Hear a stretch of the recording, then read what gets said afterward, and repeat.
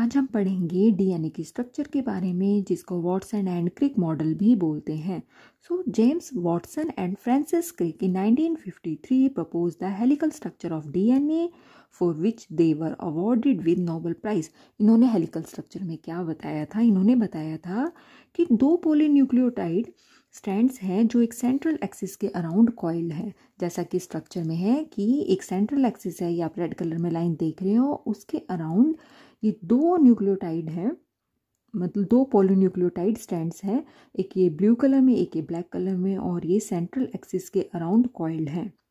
अब इसमें ये है पॉइंट ये है कि strands are antiparallel one strand oriented in the 5 dash to 3 dash direction and the other in the 3 dash to 5 dash direction. जैसा कि स्ट्रक्चर में है कि जो ब्लू ये जो स्टैंड है 5 डैश से स्टार्ट होकर 3 डैश तक है और ऐसे ही जो ब्लैक है स्टैंड है, ये फाइव डैश से स्टार्ट होकर थ्री डैश तक है। अब नेक्स्ट है इसमें कि strands interact by hydrogen bonds between complementary base pairs. जो ये न्यूक्लियोटाइड्स, इनमें बेस पेयर्स हैं और जो ये बेस पेयर है, आपस में इंटरकनेक्टेड है हाइड्रोजन बॉन्ड से। हाइड्रोजन बॉन्डिंग काफ़ी स्ट्रॉन्ग बॉन्डिंग है। So G forms three hydrogen bonds with C and A forms two hydrogen bonds with T G है guanine cytosine adenine and thymine ठीक है? ग्वेनाइन और साइटोसिन के बीच में थ्री हाइड्रोजन बॉन्ड है, जबकि एडेनाइन और थाइमिन के बीच में टू हाइड्रोजन बॉन्ड है।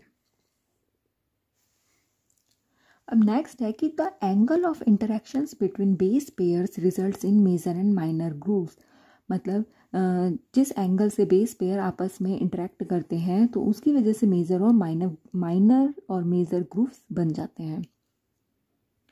जैसा कि आप यहाँ देख सकते हो, ये माइनर ग्रूव है और ये मेजर ग्रूव है। ठीक है? बेस पेयर के जो एंगल्स होते हैं ना, उनकी वजह से ये माइनर ग्रूव और मेजर ग्रूव बन जाते हैं।